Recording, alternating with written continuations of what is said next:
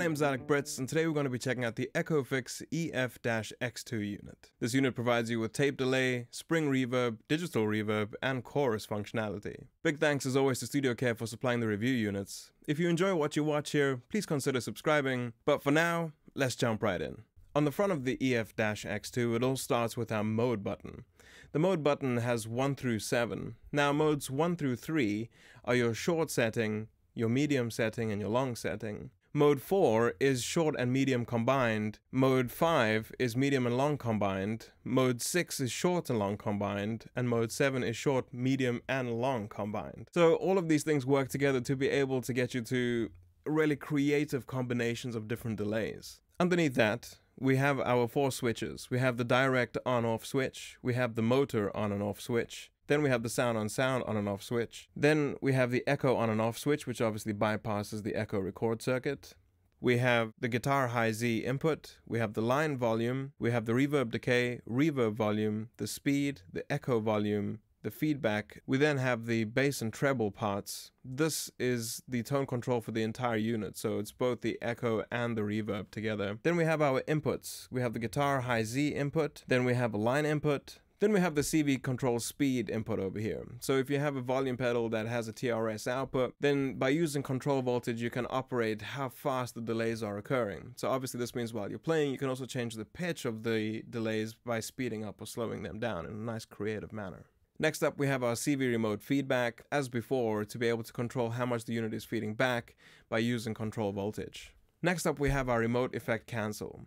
This allows you to be able to use a foot switch to be able to control either the reverb or the delay, or if you have a foot pedal that has two different switches on it and does TRS in and out, then you can cancel your echo with the tip of the TRS pin or your reverb with the ring of the TRS pin. After that, we have our output, which obviously connects into your interface or amplifier. Then we have our output level. So this allows you to be able to drive the unit harder. So if you want to overload the input, then you crank that guitar line in or the line in itself, and then you can back off the output. And that way you get a really nice blend of drive from the unit or you can have it as clean as possible. This will also help with noise floor. So if you can get your gain staging right in the unit, your noise floor is not as much of an issue because of the different tape heads and the tape itself. And then finally, we have the chunkiest power switch in all of the land. On the rear of the device, it's pretty damn simple. You have two XLRs, one male, one female for input and output, and then you have a nice locking mechanism for your remote power supply. The first thing we want to take a listen to is the drum bus, and I've put it on the snare channel over here. As you can see on the settings, everything's pretty moderate, but let's take a listen to the drums dry and then bring in the EF-X2 for a bit of ambiance. All right, let's bring it in.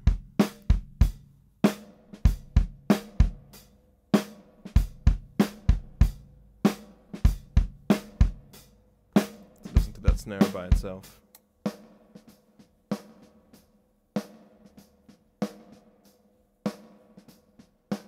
So I'm busy using the delay of the unit to be able to create a bit more of a swing. So the delays are mm,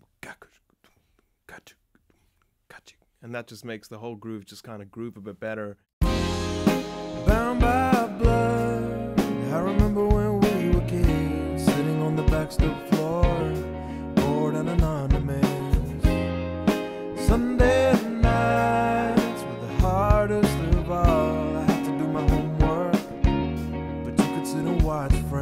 So now let's try it on the vocal because, well, that's one of the things I love most about this box. I've got it with the digital reverb set up and a bit of a slap delay on the go. But let's take a listen to this line dry and then we'll take a listen to it with the effects on it. Look at you now, you're the family man with the most beautiful heart. Look at you now, you're the family man with the most beautiful heart. At you now, you're the family man with the most beautiful heart. Busy driving the unit as well. Who would I be if I didn't have you right there from the start? It's just such a character when you when you see that little dial glowing red and it gives you that little bit of extra grit It's so powerful. Let's move on to some electric guitars because that's quite a lot of fun. Now, when I recorded these, if you've checked out my Manley Force video, you would have seen this EFX2 already in action. But for now, we're just going to add a little bit more ambience with a really long feedback. So let's take a listen to the original without any delay on it.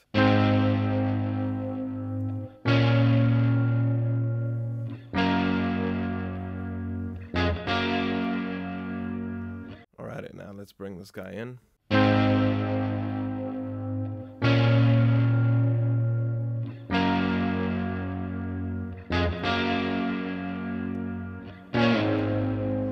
And now let's play around with the speed to make different pitches happen.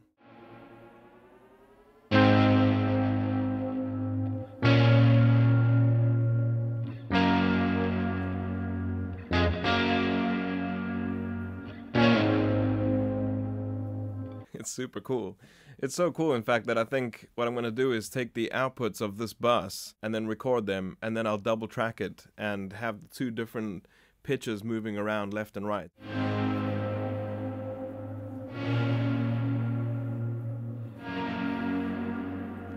that is so cool. All right, and then let's bring it in with the chorus rhythm guitar.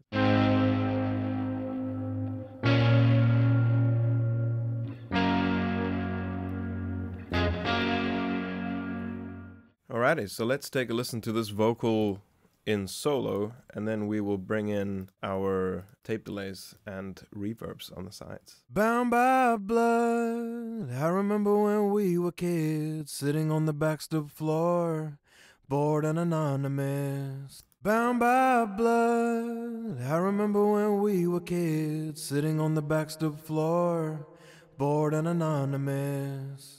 Just take a listen to how well this vocal sits in the mix now. I remember when we were kids, sitting on the backstop floor, bored and anonymous. And without. Bound by blood, I remember when we were kids, sitting on the backstop floor, bored and anonymous. One of the things I enjoy doing is transposing one of the reverbs. In fact, I'll just show you how I do that real quick. So we now have these two guys that are low. So if I duplicate these two channels, do that real quick, bring this up here. So what I'll do is I'll take Alter Boy and pop it on both of these. We'll just take the pitch up by 12, drop the formant on one side just a bit. Let's see what kind of mess we've created here.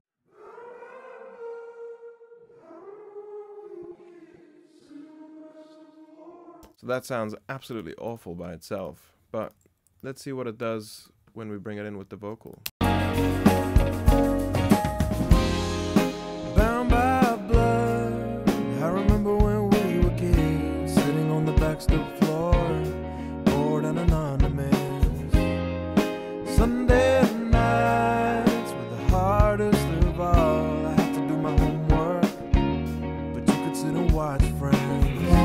It's just a really creative way to be able to express, isn't it? This unit's been in the studio now for about five weeks, and it has managed to worm its way onto a whole bunch of productions, some of my own that you've already seen, like on the Manley Force video, on the Rupert Neve Design Shelford channel video. The weird thing about it is that I haven't really reached for a lot of guitar pedals while it's been here. You see, because you can switch between spring reverb or digital reverb, you have the choice to be able to kind of craft exactly what kind of ambience you want to have. Then you have your tape echo as well as a chorus effect, and being able to tailor between those four things all together allows you to be able to craft a really interesting and unique guitar tone. And unique is kind of the biggest thing that I love about this device. You see, because everything's in real time, and because you're using your hands to do everything, you're not as calculating. You're going more on like knee-jerk reactions or on feel. So that means that a device like this might drive your productions into a slightly more creative area because it is naturally imperfect. It is a bit noisy. It is a bit clunky. It weighs an absolute ton. All of these things pulled in together allow you to be able to craft something that is truly unique and reactive. Reactive to the gain that's coming in, reactive to the performance. So let's talk about the price of this unit as well as the build quality.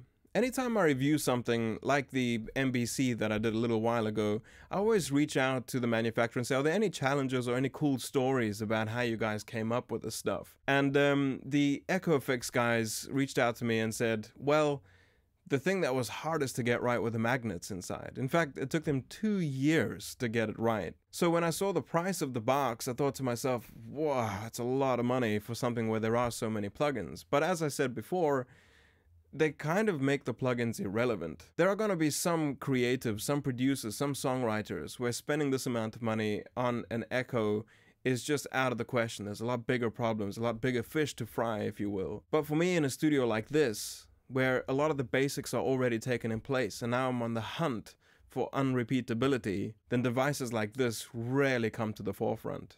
I have two different plugins that emulate what this thing does, and neither of them hold a candle to the creativity that having it here in person unlocks. I never quite understood why some mix engineers or some producers would always have Binsons or have some kind of interesting echo that even if they were mixing in the box, this was the one thing that they kept using. Now that I've actually played with this for some time, I can totally understand it.